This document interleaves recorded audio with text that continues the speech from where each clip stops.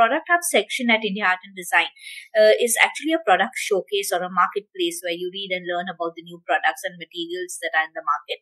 You also uh, hear about their launches. And with today, we mark uh, the day with um, opening up this section to include services, especially service providers who are specialized in pertinent aspects, which are integral to the creative uh, bent of architects and designers. So this is where we uh, called in Balbirji to talk about uh, his products. Uh, Mr. Balbir Singh is a specialized service provider in the fields in the field of kitchens as well as wardrobes. So we call him an evangelist because he's uh, really into it completely. Uh, Balbirji, why don't you give us a little bit about yourself? Thank you, Savita. Good evening, everybody. So my life journey in Mumbai started 20 years back when I moved here. And uh, I got into a company who was selling kitchens. it was an Italian brand.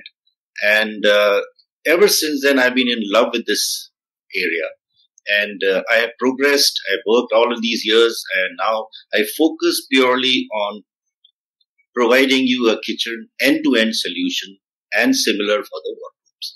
I have always believed that this is a very growing market, and it will keep on growing endlessly because this is a requirement which is very much there in today's time. Because when you go and start doing your interiors, timelines are very important. And with the current situation of artisans going absolutely extinct, it's very important that, you know, we move towards a product which is factory made and you are able to uh, honor your timelines. So that's how I look at it, and that's what uh, you know I enjoy myself. It's a very passionate thing for me. Thank you.